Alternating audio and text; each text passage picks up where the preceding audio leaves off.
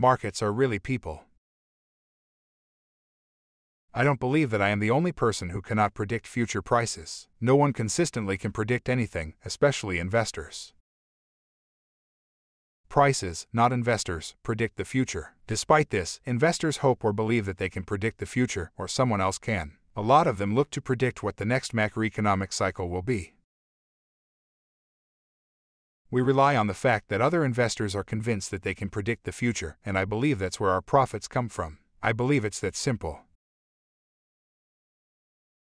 My system continues to be successful today, even though there has been virtually no change to it over the last 18 years. Market prices, rather than market fundamentals, are the key aggregation of information needed to make investment decisions. The markets are people's expectations, and these investing expectations manifest themselves as price trends. We live in an uncertain world. One cannot predict the future of anything. In an uncertain world, identifying and following trends may be the only reasonable investment approach over the long term.